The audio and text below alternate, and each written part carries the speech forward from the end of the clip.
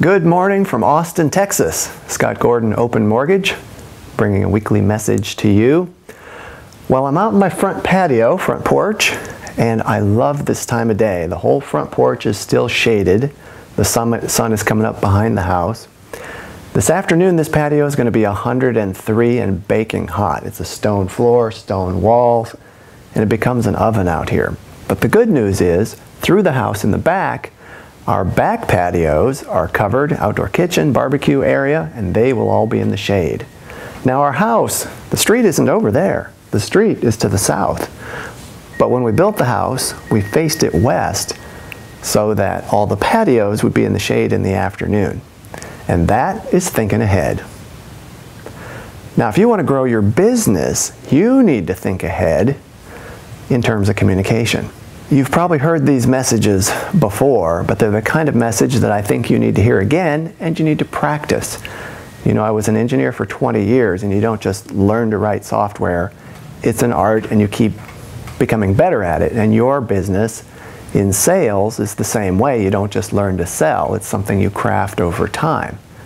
And in fact, you guys are kind of like engineers that you're not just selling, you're also solving problems. That's what engineers do, solve problems. Well, on this communication idea, I wanted to remind you about the benefit of proactive communication. You want to take control. You can be proactive and call your borrowers, or you can wait until they are fed up and want to know what's going on and they call you and then you're reacting. Obviously, proactive communication is better.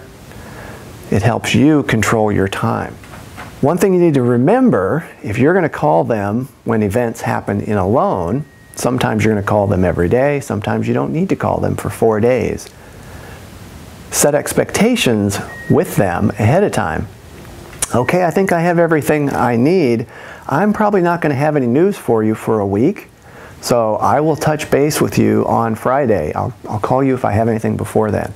Be sure they know so that they don't feel like, what happened? I haven't heard from my loan officer. Is there a problem? On Fridays, I would do good news calls. This is an idea from Phil Risch, and he can tell you more about it. Good news calls are end the week on good news. Call your vendors, stay in touch, make sure you know what's going on. But for your borrowers, call and give them the update and tell them how great everything is going. That way, when they go into that stretch of the weekend, especially the weekend when they're not working every day, they're at home, they have time to think, they have time to worry.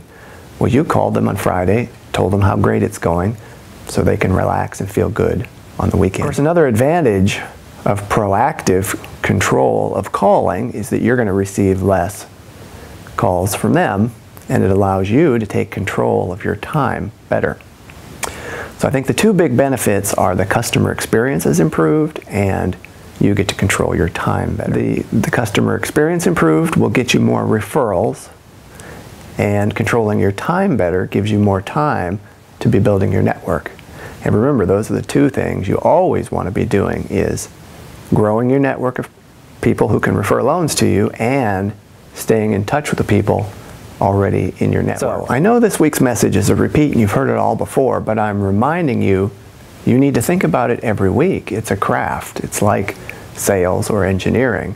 You don't just know how to do it, you need to continually working on improving at it, and that's what will grow your network and grow your success. So from Austin, Texas, on a sunny but still cool Saturday morning of Labor Day weekend, I say here's to a great September. Things are really looking good. I hope you're having a good month, and if you need anything, contact us at corporate.